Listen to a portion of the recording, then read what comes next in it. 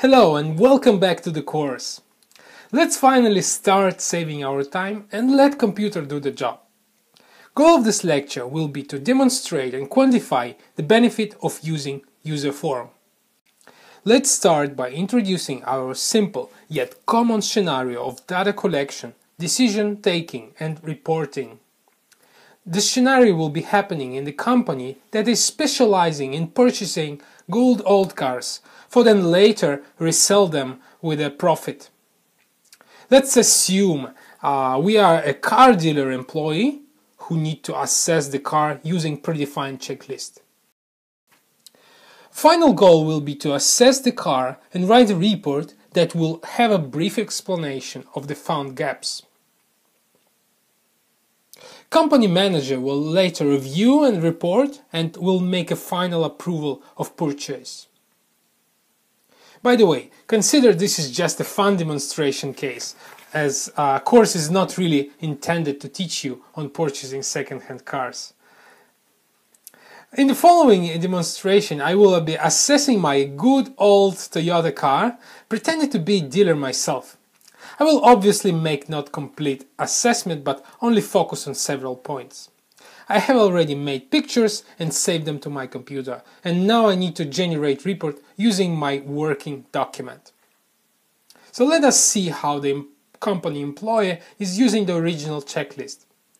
Obviously, I will fast forward the process, so you'll then listen some music in the meanwhile.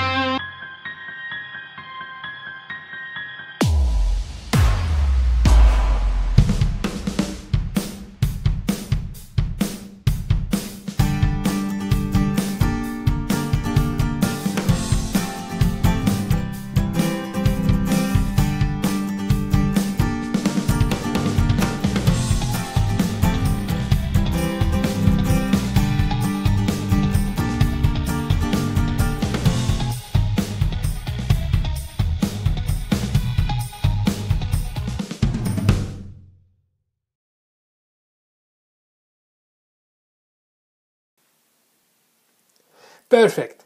And now you will be acting as a young and ambitious company employee. You decided to improve current process and so you added an Excel user form on top of the very same working template. To convince others, you decided to make a competition and measure the efficiency of the current process and propose new way while using user form.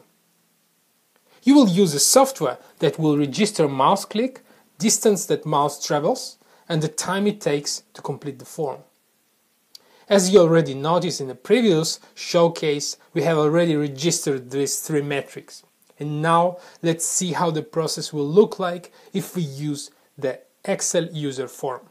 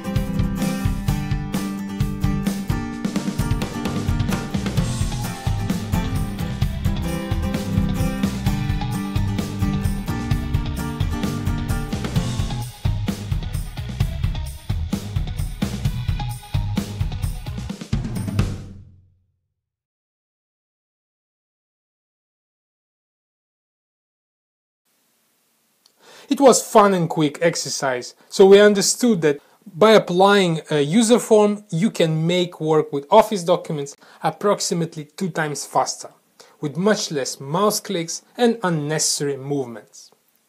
Let me consolidate this finding with general summary of why the user form was very good for this process. First of all, in helping to bring all information to one place and let person to concentrate on the task. The second advantage is that user form makes the entire process much faster because it's automate data flow process. I hope you have already an idea on where you can apply this tool. For this, feel free to participate in a quick reflection exercise in the next lecture. Obviously, feel free to post a comment into the discussion board of this course. In a future lecture, I would share with you all these templates and we will start building our understanding on how they work and how you can apply them to your particular situation.